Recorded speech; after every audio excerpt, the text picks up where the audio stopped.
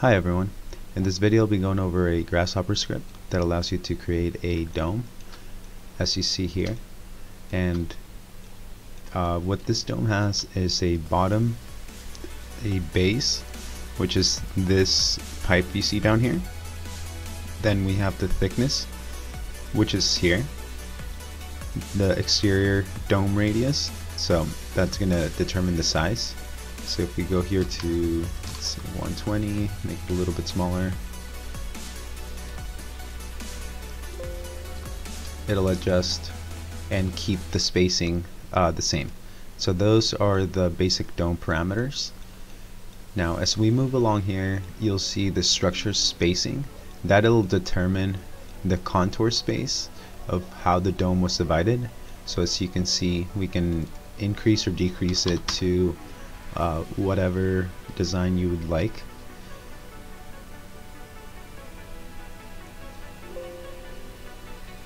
So let's go back to Grasshopper. Oh, where are you? There you are. And so that's the spacing you can add there. Uh, let's increase it to make make the model easier to work with. Um, so it could be as simple as a 48 inch space in between and we could also increase the thickness. So I have it at 1 we can increase it to let's, let's make it 3 so yeah that's the dome thickness that you can add there. And uh, as you can see down here the base radius you know could you could increase or decrease it. So let's leave that at 2.5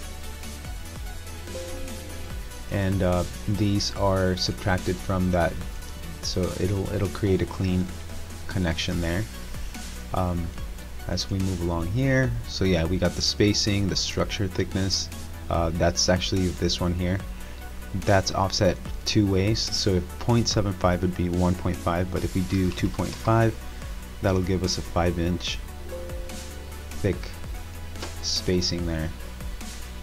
Um, and as you can see it's difference so we could increase that radius here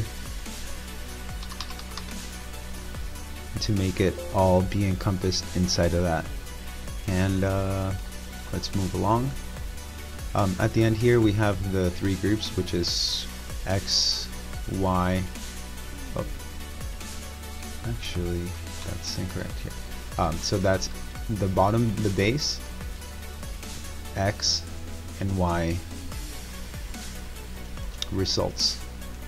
So let's change here the spacing to 24 inch spacing. Let's see what kind of results we get. And I do have a, when I try to boolean union and put this all into one, it's, it gives me a hard time. So that's something that you would have to go ahead and do after you uh, go here and bake it. So that's kind of what you end up with, which is a clean dome on the inside. And then out here you have kind of this, the structure so you can build it. And uh, I hope you found that useful. It's a interesting little script. It, it does take uh, quite a few steps but it's nothing it's nothing out of the ordinary it's nothing too tricky or too difficult um, in my opinion. So as you can see, I've just briefly gone over this script. I will add a link uh, for you to download the model and the Grasshopper script, and just so you can go ahead and, and mess around with it.